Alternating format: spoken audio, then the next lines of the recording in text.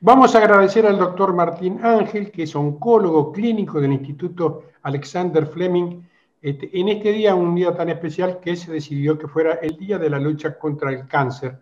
Esta, enfermedad que seguramente para, nosotros, para muchos es una palabra fea o es un fantasma, pero que también en el último tiempo este, quien está dispuesto a darle lucha estira su vida con una calidad de vida interesante. Gracias, doctor, por su tiempo. Gracias, Martín. Muchas gracias, Antonio, por, la invitación y, es muy importante lo que están haciendo de intentar difundir a la comunidad la importancia de la comunicación y, la concientización sobre el cáncer y hoy un día tan especial como el 4 de febrero a nivel mundial. La idea es tratar de que toda la comunidad esté presente en, el cuidado personal, en concientizar sobre esta enfermedad. Y eh, si vos me permitís una sola cosita, esto del lenguaje que uno utiliza para el, para el, cáncer, uno prefiere no utilizar algún lenguaje tan bélico, ni, ni, es una lucha, no es una batalla, esto es una situación de la enfermedad que, se, que uno la tiene que, eh, atravesar en esta circunstancia, pero acá no hay ganadores y vencedores, porque si no uno se ve como defraudado después. Entonces, hay muchas... Históricamente, para no engañarnos, este, el cáncer ha tenido alguna suerte de sinónimo con muerte, este, y, y uno así como no evita de hablar de la muerte, mucha gente evita hablar del cáncer por ser su sinónimo, pero insisto, creo que hoy a través de muchas drogas, muchos tratamientos no tan invasivos, se puede hacer una prolongación de la vida con una calidad de vida interesante y, a, esto, a esto apuntaba. Sí, totalmente de acuerdo con vos. Hoy ha cambiado eh, radicalmente la situación de la enfermedad. Hoy el cáncer en muchas situaciones se cura por completo y sobre todo cuando hacemos una buena campaña de prevención de la enfermedad con cambios de estilo de vida, evitando algunos factores de riesgo y sobre todo llegando al diagnóstico temprano de la enfermedad, uno puede controlar y curar la enfermedad. Y en aquellos casos en donde no se puede hacer eso, los tratamientos actuales permitieron extender mucho más la supervivencia de los pacientes y sin afectar eh, directamente su calidad de vida. Por lo tanto, eh, eso ha, revolucionado hoy en día la medicina.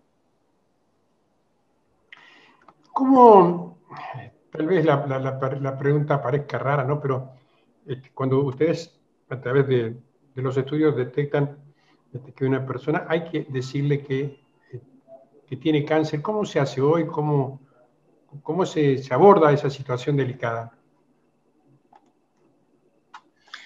Y hoy en día la comunicación es eh, bastante eh, es algo crucial que tendríamos que tener. Si bien muchas veces en la facultad no nos enseñan a, comunicar estas noticias, pero lo tenemos que hacer. Por suerte ya los pacientes vienen un poco más eh, ablandados, podemos decir, porque ya estuvieron googleando, estuvieron viendo algunas palabras, ya tuvieron algo, bien también asustados muchas veces, pero la, premisa acá es no ocultar información, siempre eh, poner todos los puntos claros sobre la mesa para que el paciente mantenga toda la, la información disponible en, esta circunstancia y no se quede con ninguna duda, porque cuando hay dudas o temores es cuando más, eh, o cuando hay incertidumbre, el paciente es cuando más, cuando peor la pasa, obviamente, ¿no? La comunicación siempre preferimos que esté bien acompañado por alguna, eh, algún familiar o algo como para que lo pueda soportar mejor y el apoyo de la familia es crucial en estas circunstancias.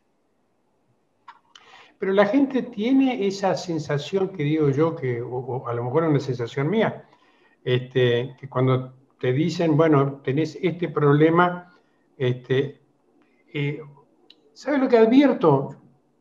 Tengo una hermana que falleció de cáncer, que es como que todo en primer tiempo es como que aparece una predisposición a que yo a este le voy a ganar.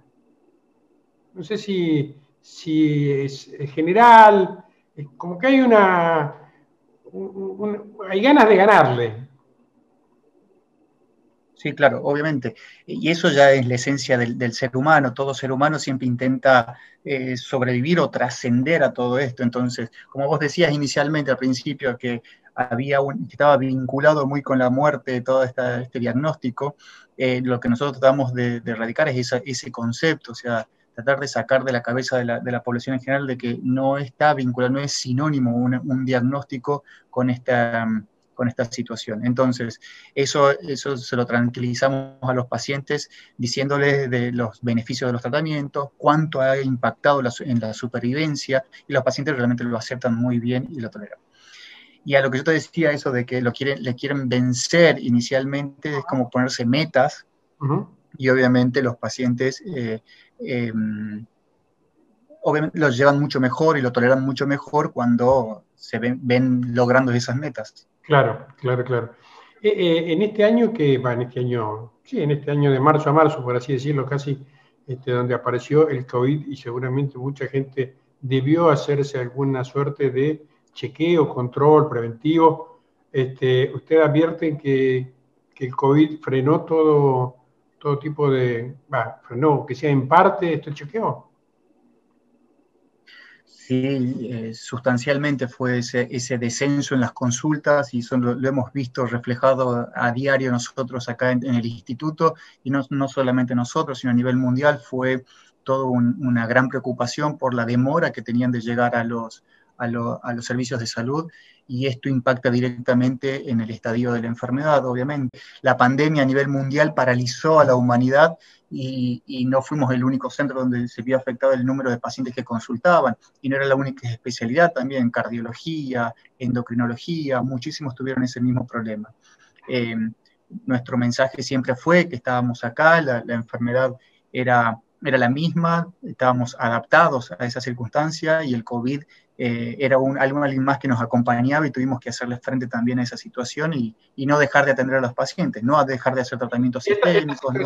En estos últimos meses que la gente empezó a caminar más la calle, en los lugares públicos, ¿se fue como normalizando o todavía hay temor a ingresar a la puerta de un sanatorio?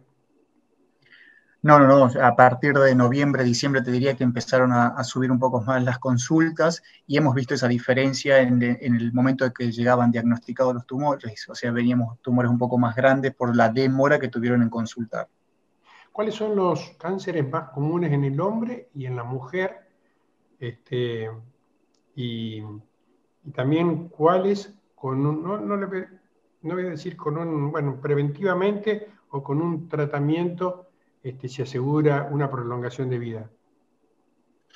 No le digo todo, pero que me marque dos o tres del hombre, dos o tres de la mujer. Eh, para, ah, para, ambos sexos está la cabeza siempre cáncer de pulmón y después cáncer de colorectal.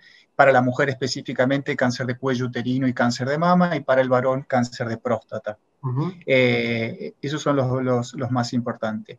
Y hoy en día lo que tenemos como para medidas de prevención y de concientización y cambio en el estilo de vida, tenemos tres modelos tumorales que realmente fueron, eh, eh, que cambiaron toda esta situación. Primero, el cáncer de cuello uterino para la mujer, que hoy con la vacunación extendida, tanto para varones como para mujeres, se va a reducir el, diagnóstico las complicaciones por el HPV, por lo tanto va a disminuir el cáncer de cuello uterino y el diagnóstico temprano va a llevar a mayores tasas de curación.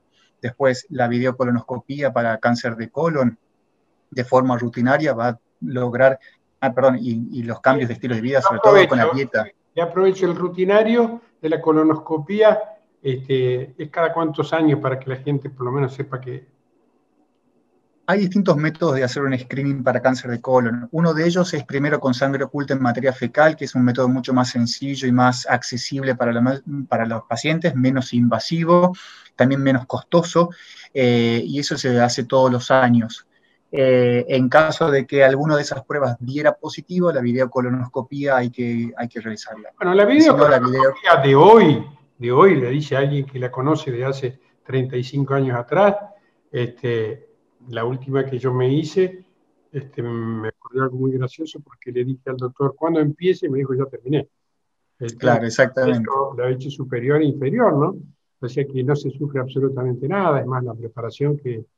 Que, otra cosa, sí, sí, sí. Y la, y la videocolonoscopía, dependiendo de cuáles fueron los hallazgos, se puede hacer una vez cada cinco años. Cada cinco años. Este... Pero para el cáncer de colon, perdóname que te interrumpa un segundo ahí, uno de los puntos más importantes son los cambios de estilo de vida, principalmente en la dieta, aumentar las dietas ricas en fibras y reducir aquellas dietas ricas en grasas o, proteínas, que son las que pueden afectar un poco más para el cáncer. Vamos a decirlo en criollo, más poroto, más garbanzo, más lenteja, ¿eh? Exactamente. Más legumbre, este, un poco más de avena y menos, menos saturada. Y... y... esto no significa que tengamos que evadir el consumo de carnes. Eso sí que no es así. Tenemos que disminuir el consumo, pero no llevarlo a cero, que eso no es lo correcto. Tampoco es bueno. Un último mensaje para, agradeciéndole la diferencia que ha tenido para, con la agencia de noticias Verde. ¿Cuál sería su último mensaje? Que no dejen de consultar a, los pacientes, que eh, hoy el cáncer es una enfermedad más que tenemos que saber eh, llevarla con nosotros, no es una, un sinónimo de muerte y hay muchos eh, tumores que hoy se curan con el diagnóstico adecuado y el tratamiento oportuno. Gracias de nuevo, doctor. Muchas gracias a ustedes y feliz día hoy.